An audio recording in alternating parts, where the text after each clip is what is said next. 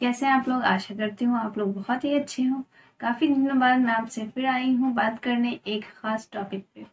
और इस बारे में मैं बात करूँगी, वो है अभी जो मौसम चल रहा है हमारा इट्स अ रेनी वेदर जो बारिश कंटिन्यू हो रही है, लगातार झिमझिम झिमझिम हर जगह बारिश हो रही है। ऐसे में हमारे डेली लाइफ में हमें बाहर निकलना ही होता है, और ऐसे में हम कहीं ना कहीं भीग जाते हैं और भीगने के बाद बारिश में कई सारे लक्षणों से हम सफ़र करने लगते हैं, जैसे फीवर आना हो, या कोल्ड एंड कफ हो, या फिर सर्द गर्म जैसी समस्याएँ हमें देखने को मिलती है।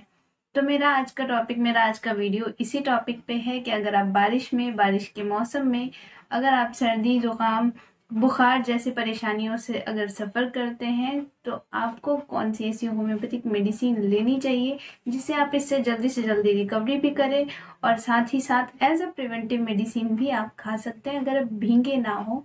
तो अपने आप को प्रिवेंट करने के लिए भी मेडिसिन ले सकते हैं। वो कौन कौन सी मेडिसिन है? मैं इस वीडियो में आज सारी डिटेल बताने वाली हूँ। तो आप इस वीडियो को अंत तक ज़रूर देखें। ये वीडियो बहुत ही इन्फॉर्मेटिव है। तो ज़्यादा समय ना लेते हुए हम लोग चलिए वीडियो की तरफ़ बढ़ते हैं।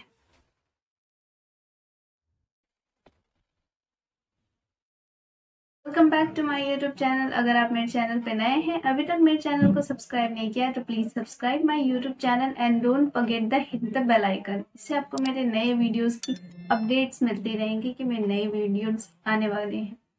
तो अब हम बात करते हैं अपने टॉपिक की तरफ़, पढ़ते हैं कि रेनी सीज़न में अगर आप सर्द, गर्म, सर्दी, जुकाम या फीवर जैसी समस्याओं से परेशान हो जाते हैं तो ऐसे में क्या करना चाहिए?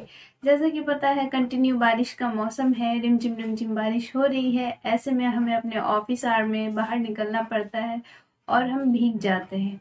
और ख़ास तौर पे बच्चों को ये बारिश का मौसम पसंद है, वो किसी न किसी बहाने से घर से बाहर निकल जाते हैं और वापस भीग कर आते हैं और साथ ही लाते हैं अपने साथ साथ सर्दी, जुकाम, बुखार जैसी अनेक समस्याएँ। तो इन सारी चीज़ों के बारे में मैं डिटेल में एक एक करके बताने वाली हूँ। तो अगर आप बुखार में भीग जाते हैं और भीगने के बाद आपको फीवर आती है या सर्द गर्म जैसा मौसम, ठंडा गर्म जैसा आपको फील होने लगता है तो ऐसे में आप ले सकते हैं बहुत ही अच्छी होम्योपैथिक मेडिसिन डल का मारा डल का मारा बहुत ही अच्छी है मेडिसिन है, ये बहुत ही इफ़ेक्टिव मेडिसिन है, ये आपके बॉडी को प्रिवेंट भी करेगी अगर आप नहीं भीगेंगे। और मौसम चल रहा है तब भी आप इसे एज अ प्रिवेंटिव मेडिसिन ले सकते हैं two drop first time morning time में, एक दिन में एक बार। ये प्रिवेंटिव मेडिसिन के तौर पे भी आप इसे इस्तेमाल कर सकते हैं, अगर आप भीग गए हैं। और लक्षण आपको कुछ ऐसे दिख रहे हैं कि बदन गर्म हो रहा है, ठंडी लग रही है, ठंडा गर्म, सर्द गर्म का आपको बॉडी में चेंजेस नज़र आते हैं। ऐसे कंडीशन में आप इसे ले सकते हैं। दो बुन सुबह दोपहर शाम। अगर बच्चों में ये चीज़ें आ गई हैं तो आप इसे दे सकते हैं बच्चों में एक बुन सुबह दोपहर शाम। दल का मारा थर्टी पोटेंसी में, आप ज़रूर इस्तेमाल करें। मैं पिक्चर लगा दूँगी। आपको देखने में ज़्यादा परेशानी नहीं होगी कि मैंने कौन सी ऐसी मेडिसिन बोला है। नेक्स्ट मेडिसिन की बात करें होम्योपैथिक मेडिसिन की, जो आप सर्दी गर्मी में या बुखार में भीगने वाले मौसम में आप इस्तेमाल कर सकते हैं। अभी तक बिल्कुल ठीक थे, बाहर गए किसी काम से और वापस भीग कर आए और साथ ही साथ आपको हो गया बुखार लग गया, तुरंत बॉडी गर्म हो गई। सडनली हो गया आपको, अभी तक ठीक थे, अचानक से हो गया। अगर सडनली आपको फीवर आता है या कॉफ आता है या फिर सर्द गम होता है, जो जुकाम लगते हैं तो आप ऐसे में यूज़ कर सकते हैं एकोनाइट नेपोलस एकोनाइट सडन होने वाली चीज़ों पे बहुत ही अच्छा वर्क करती है, चाहे वो फीवर हो या सर्दी हो या खांसी हो, या आपको जुकाम हो या ठंड, गर्म, सर्द गर्म जैसा आपको लग रहा हो। उसमें भी ये बहुत ही अच्छा वर्क करती है। थर्टी पोटेंसी में आपने इसे लेना है सेम टाइम दो बुन सुबह, दोपहर, शाम। छोटे बच्चों में आप इसे दे, एक बुन सुबह और शाम। ये बहुत ही अच्छा वर्क करती है। सडन होने वाली चीज़ों से आपको तुरंत राहत देखने को मिल जाती है। नेक्स्ट मेडिसिन की बात करें तो नेक्स्ट मेडिसिन आपको काम करती है अगर आप भीग गए और आपको फीवर आ गया और बहुत ज़्यादा फीवर है बॉडी हॉट है fever hundred one hundred two जा रहा है आपका। इतना डिग्री चढ़ जा रहा है फीवर और फीवर नहीं उतर रहा है तो आप ऐसे में यूज़ कर सकते हैं यूपेटोरियम बर्फ़। ये बहुत ही अच्छी मेडिसिन है हाई ग्रेड फीवर के लिए।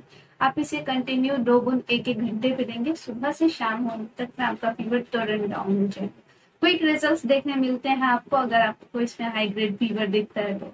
यूपेटोरियम पफ को भी आपको थर्टी पोटेंसी में लेना एक एक घंटे पे दो बुंद करके ले, आपका फीवर देखने देखने को मिलेगा कि ये तुरंत ही खत्म हो रहे है।